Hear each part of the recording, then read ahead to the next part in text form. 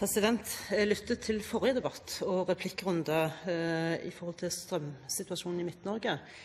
Eh, bemerkningen statsråden hadde til Bjørn Lødemel fra Høyre i forhold til eh, partiet som la fram eh, krav om en handlingsplan for Midt-Norge allerede i 2006.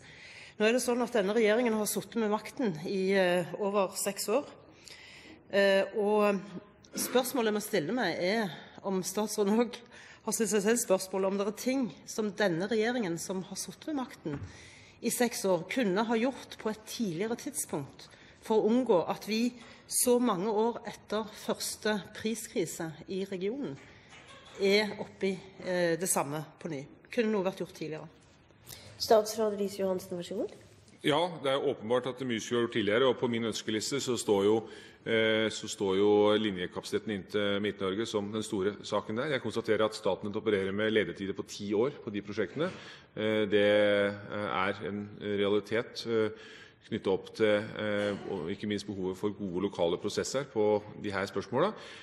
Men jeg skulle virkelig ønske at vi hadde hatt på plass linjekapasiteten inn til Midt-Norge mye tidligere enn det som til dels har skjedd, og dels det som er i ferd med å skje.